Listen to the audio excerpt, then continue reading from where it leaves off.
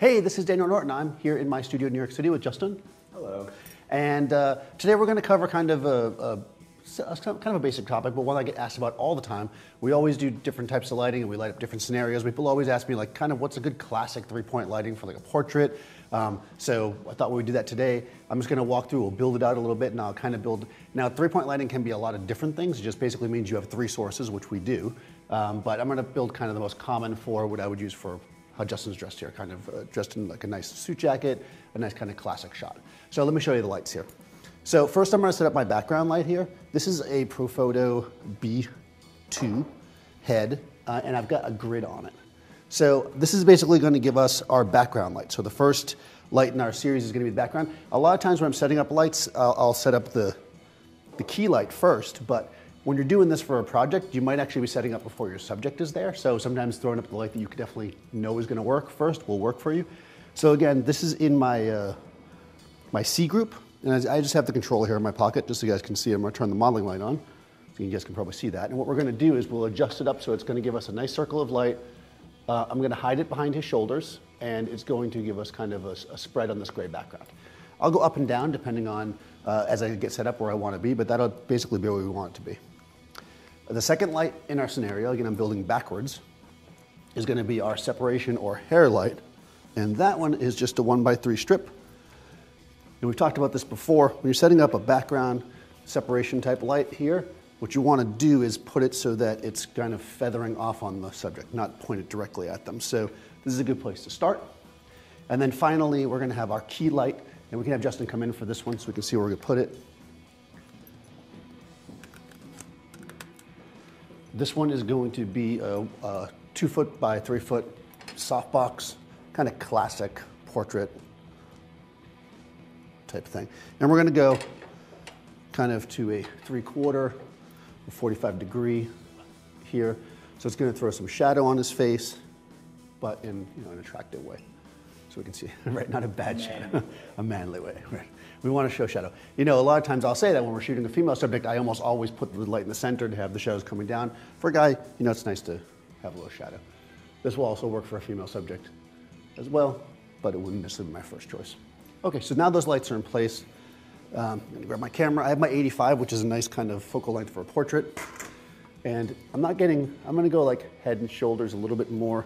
Not the head and shoulders for like the shampoo, but I mean, maybe. Um, and the first thing I'm gonna do is I'm gonna turn all my lights off, as always, and we're gonna make a shot with no light, no uh, flashlight, I should say. 250th, f8, 100 ISO.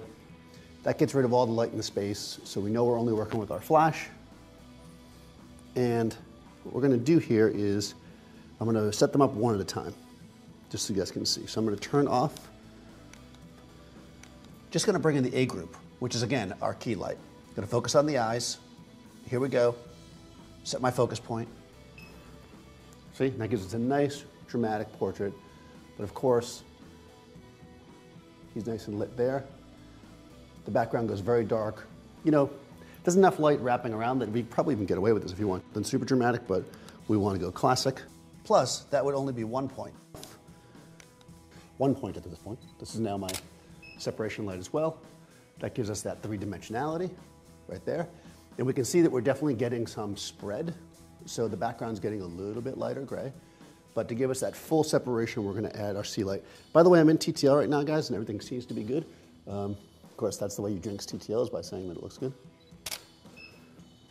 There we go. All right, now I'm gonna tweak. So what I like to do, since we wanna keep things consistent, is I'm gonna switch off TTL, and I'm going to just adjust my lights. I'm gonna bring my C light down, which is my background light, down by half a stop, I think. I think it's a bit too bright. There we go. Nice and classic. I'm just gonna kind of look at this. Yeah, I have detail on the highlights. My neutral looks good. We have separation. Yeah, this looks pretty nice. So we'll shoot a few like this. I do like to be on a tripod just to keep the stuff set and work through a little bit at a time, shooting some classic shots. Cool. All right, so that works. That's really easy, right? We knew that'd be easy. So a variation on this if you want. Um, if you didn't need your background to be lit up, for instance, we could add a fill light instead. So we could move, you know, let's say this light to the fill. Because I only have these modifiers though, I'm not gonna fill with a small hard light. That wouldn't make any sense to me. So if I want to do that kind of a scenario, I'm actually gonna switch this guy to be my separation light and move the strip up here for a fill. So you want your fill light to be generally on your camera axis. You, know, you don't want it to create its own set of shadows. So we'll just put that there, and then I'll move this guy over here for my separation. We'll see what that looks like.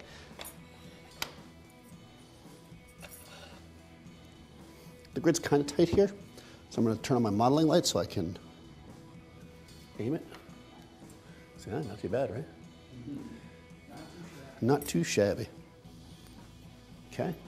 This guy is going to come from the front. Give my fill. So probably, well, you know what? TTL's been good to us. Let's just see what happens. We'll throw TTL on.